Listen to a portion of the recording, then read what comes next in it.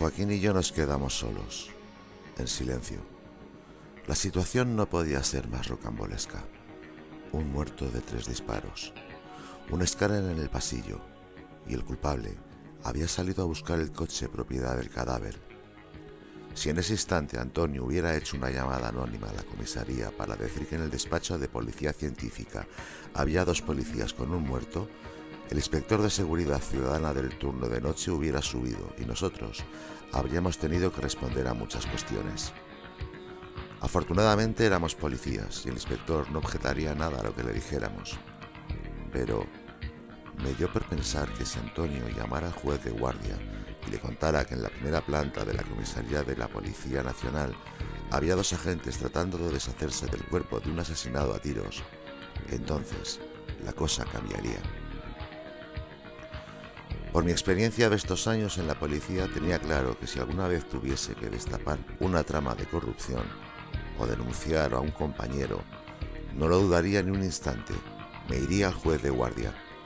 Pero una cosa estaba clara, Antonio no nos traicionaría. Y estaba convencido de esa aseveración porque el cadáver estaba con nosotros y las balas que contenía su cuerpo eran del arma de Antonio. Recapacité que era la primera vez desde que nos conocíamos que había dudado de su amistad y de su confianza. ¿Qué piensas? me preguntó Joaquín sacándome de mis conjeturas. Nada, que estoy deseando que acabe esta jodida noche. Y yo, replicó. Vamos a bajar este chisme a seguridad, me dijo señalando el escáner del pasillo. ¿Y las balas? Parecía que todo el esfuerzo para localizar los proyectiles en el cuerpo de Dul no había servido de nada. Antonio se había ido a buscar su coche y Joaquín se entretenía en retirar el escáner. Vamos por orden, respondió. Mantener el escáner aquí, en el pasillo, supondrá más preguntas que habrá que responder mañana. El tema del coche de Dul también es importante, justificó la huida de Antonio. Si la policía local o alguno de nuestros coches lo localiza en la calle, cuando se sepa que el gitano ha desaparecido, cuestionarán qué es lo que hacía su coche en una calle que no es la suya. Asentí con un vaivén leve en mi barbilla.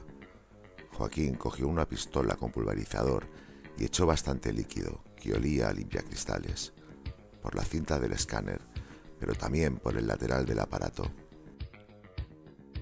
Con trozos que arrancaba de un rollo de papel de cocina, se dedicó a limpiar, de forma tosca, todo el líquido que había esparcido.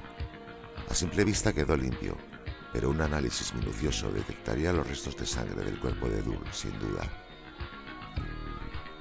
Entre los dos arrastramos el escáner, que con las ruedas se podía transportar bien, por el largo pasillo hasta llegar al ascensor.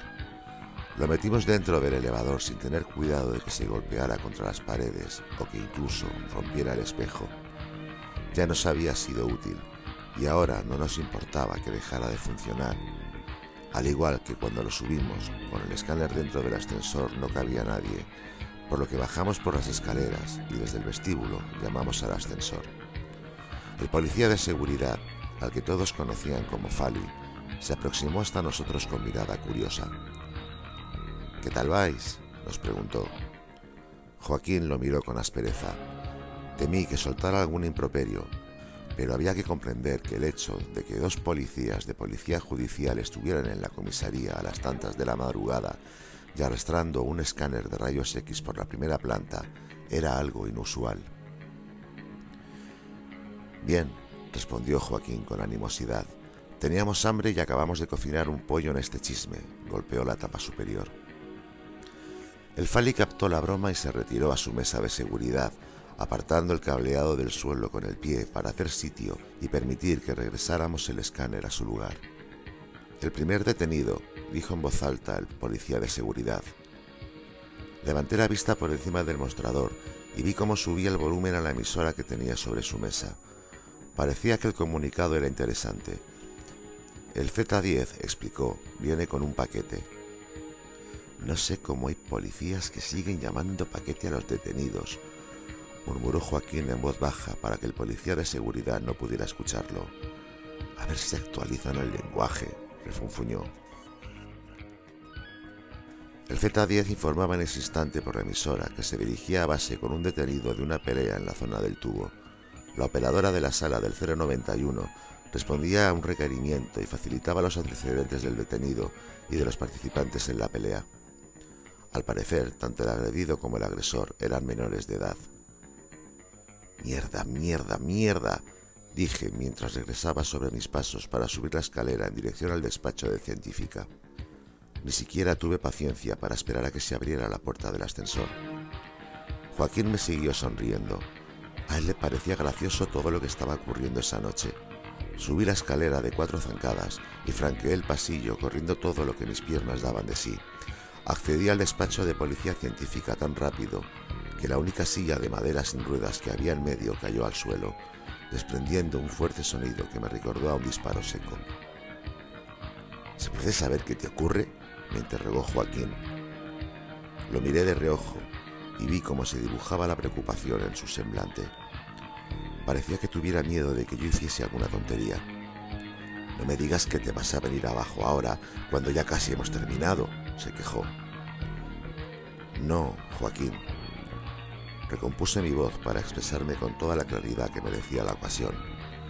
Lo que ocurre es que han transmitido por la emisora que un Z viene hacia comisaría con un detenido por una pelea en la zona de ocio. Joaquín cabeceó asintiendo, como si esa noticia no fuese especialmente interesante. Un menor de edad. Elevé la voz para ver si reaccionaba. Sí, sí, ya le he oído, gruñó. ¿Y qué? Lo miré perfilando una tenue sonrisa de burla en mis labios, dándole un breve lapso de tiempo para ver si reaccionaba. Joaquín era un policía muy avispado y, pese al cansancio, supe que enseguida se daría cuenta del inconveniente añadido que no sobrevenía esa noche. La hostia, maldijo. Lo tendrán que reseñar antes de ponerlo en libertad.